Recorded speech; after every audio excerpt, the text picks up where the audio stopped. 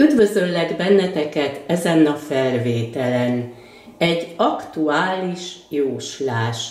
Mielőtt mutatnám azt, hogy mit mutatnak a kártyák, szeretném a hematit fél drágakövet bemutatni.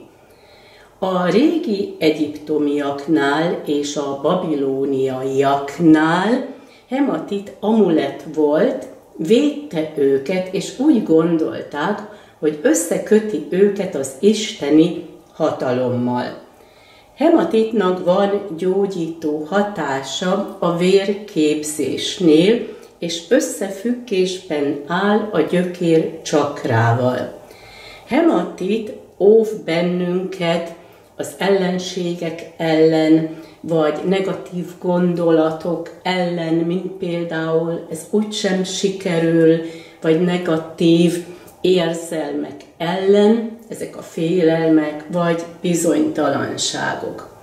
Óv bennünket. Hematit az a kos jegyével és a skorpión jegyével áll összefüggésben, tehát Mars bolygóval, hiszen Mars bolygó uralkodik a kos jegye felett, Mars bolygó uralkodik a skorpión jegye felett is. És most megnézzük azt, hogy mit mutatnak a kártyák. Keverem, kavarom. Ó, kiesett egy lap. Ez eltűnik most az életedből, hiszen nincs benne a kártya csomagban, tehát eltávolodik. És itt barátokról van szó. Tehát egy barát vagy egy barátnő eltávolodik az életedből. Vagy az lenne jó, ha te zárnád le ezt a kapcsolatot.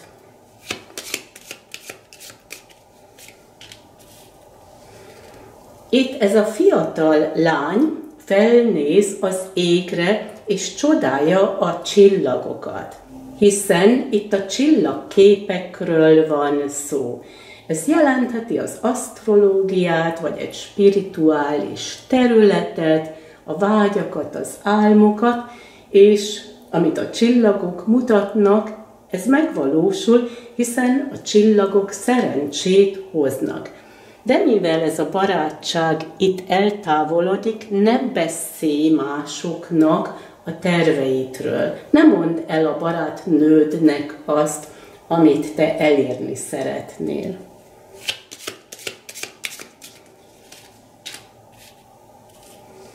Itt a horgony két dolgot jelenthet.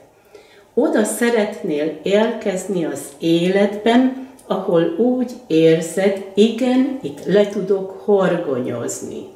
Ez lehet a hivatásod, a lakhelyed, vagy egy biztos párkapcsolat.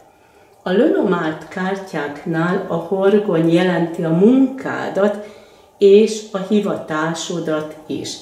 Ez lehet itt egy spirituális terület, vagy itt lesznek munkahelyi változások úgy, ahogy a csillagképekben ez meg van írva.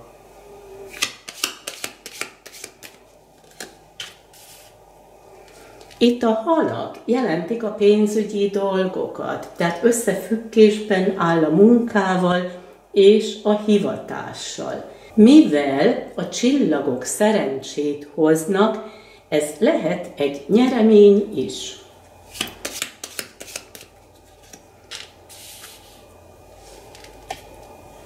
Itt a virágcsokor utal a te szépségedre, a jó ízlésedre, jelent egy kellemes meglepetést, egy ajándékot, vagy egy kreatív tevékenységet, és itt számíthatsz arra, hogy lesz egy munkahelyi változás, ami szerencsét hoz.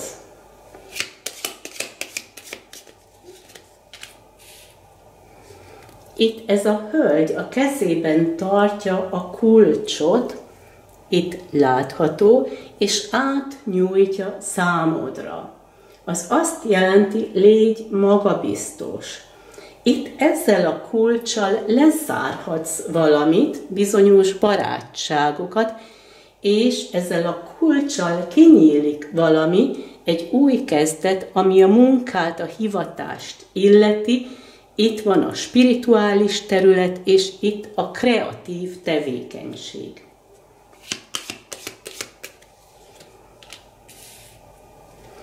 Ez a medve jelenti az élet erődet, fektest be ide az erődet, hogy legyen egy új irány, ami a hivatást illeti. Ez a nagy medve lehet egy bizonyos személy is, lehet az apukád, vagy lehet a főnököd is, aki segít neked.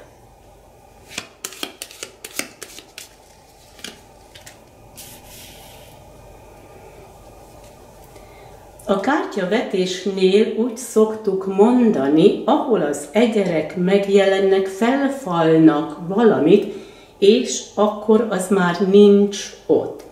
Az egerek eltüntethetik a munkahelyedet, és a képek arra utalnak, itt lesz egy munkahelyi változás.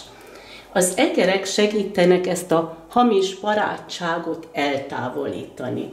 De az egerek eltávolítanak valamit az élet erődből is, tehát előfordulhat az, hogy lesznek bizonyos pillanatok, amikor fáradt és kimerült vagy.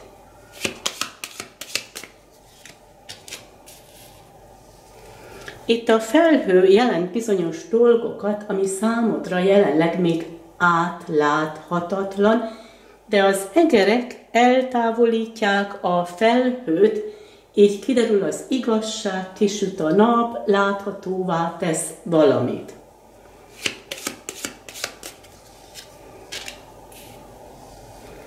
A könyvek jelentik a te tudásodat, bölcsességedet, lehet egy továbbképzés is. A párkapcsolatot illetően a könyv jelenti az ő zárkózottságát, és a felhő jelenti az időt, fél évet. Gondolj vissza arra, mit történt fél évvel ezelőtt, mit titkolt el előled, miért volt ilyen zárkózott. Itt most fordul a kocka, hiszen az egerek eltávolítják a titkokat, eltávolítják a felhőt, ami olyan átláthatatlan volt különösen, amit átéltél fél évvel ezelőtt. Itt rendeződnek most a dolgok, lesznek változások. És én kívánok neked egy szép napot, nagyon sok szeretettel, Dendera!